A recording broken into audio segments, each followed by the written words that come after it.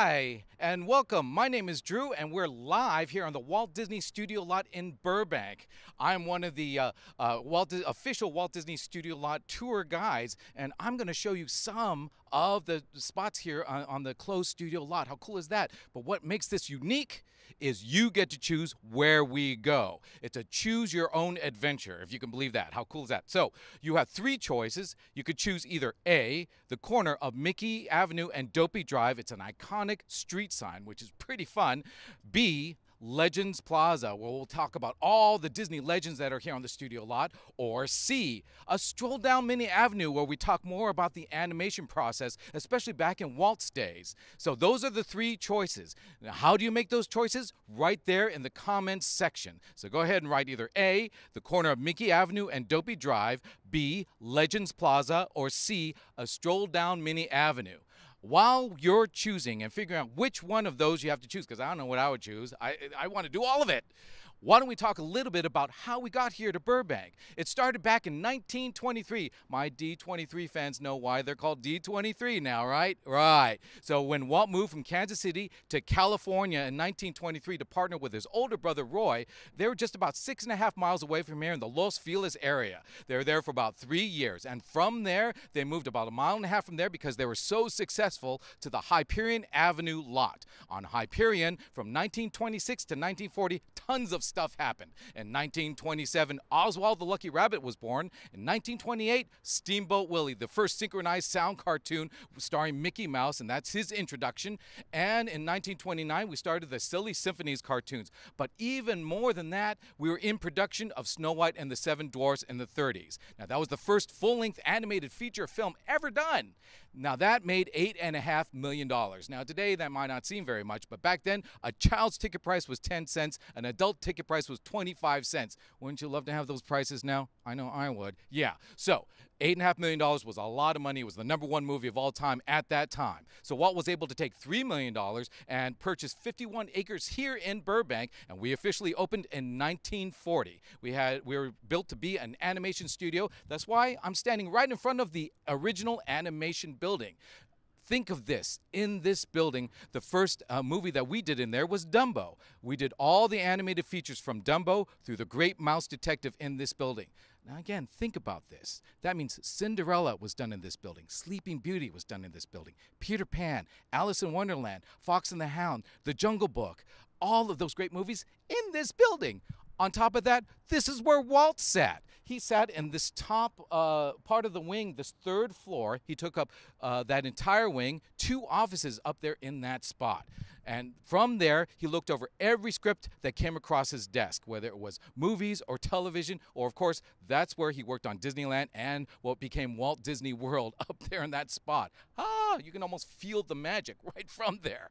So, on that third floor, back in those days, Walt and story development were done. Also, the Sherman brothers were up there. They made all of those great songs from Mary Poppins, and they did the Tiki Room song and It's a Small World. Let's all sing. Okay, I won't do that. But anyway, that's where all of that stuff was done. The directors were on the second floor and the animators on the first floor. That means the Nine old men were in this building, and even more recently, people like John Lasseter were uh, here. That's where he started right after Cal Arts. Uh, also, people like Brad Bird and Tim Burton actually started in this building, if you can believe it. All of those legendary animators in this building. Like I said, you could feel the magic. I know I'm feeling it right now. Oh, wait a minute. Looks like, uh, uh, oh, I, I, I'm told to go over the choices again. So once again, let's go through those choices. All right, you ready?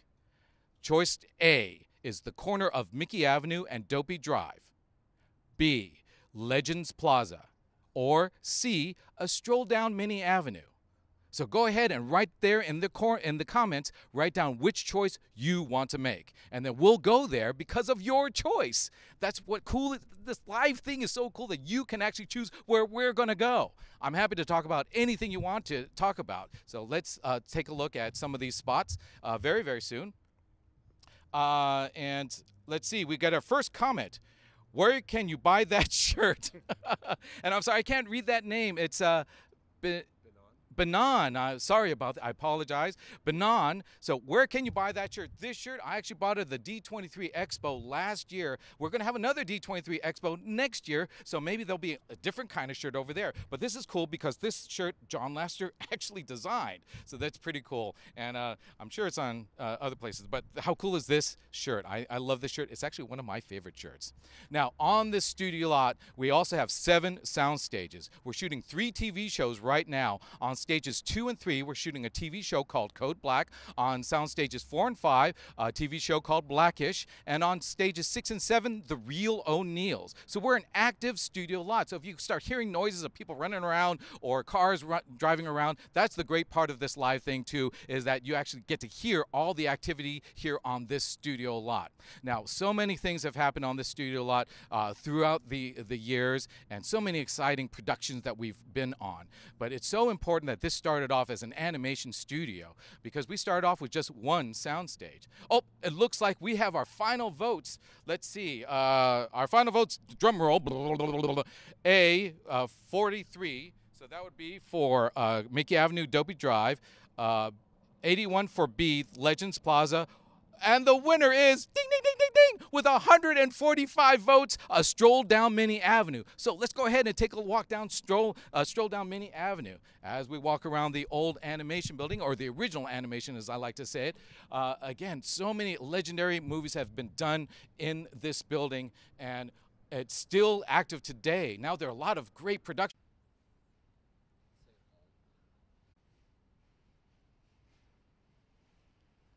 And we're back. Again, how fun is this that it's live? If you wanted proof, that's your proof. well, well, we're going to take a stroll down Minnie Avenue. Now, what we're doing right now is we're walking by the inking and painting building where we had some 200 inking and painters working on those cels. You know those cels that are worth thousands of dollars today? Well, that's the building that they worked on. It would take a long time to do those cels because you have to be absolutely perfect when you're drawing those lines and painting on the back of those cels, and it would take six to eight hours to dry. Now, think about this 24 frames per second in traditional film. That means up to 24 drawings per second, which also means up to 24 cels per second. All right, hundreds of thousands of these cels for a 90 minute movie. It's amazing. But can you imagine back in those days, they didn't know that those were pieces of art. Yeah, the art was the final production, the movie that came out. They just had stacks and stacks of these cels, so they actually had to throw some of them away, if you can believe it. That's why cels are worth so much money today. But it's amazing. So the inking and painting building over here, and the very next building over here is the camera building. But before we go too much further, got to point this out. So I was pointing out where Walt's office was, again, on that third floor, that wing. And over here, right next to it, across from it, on the second floor was Roy O. Disney's office.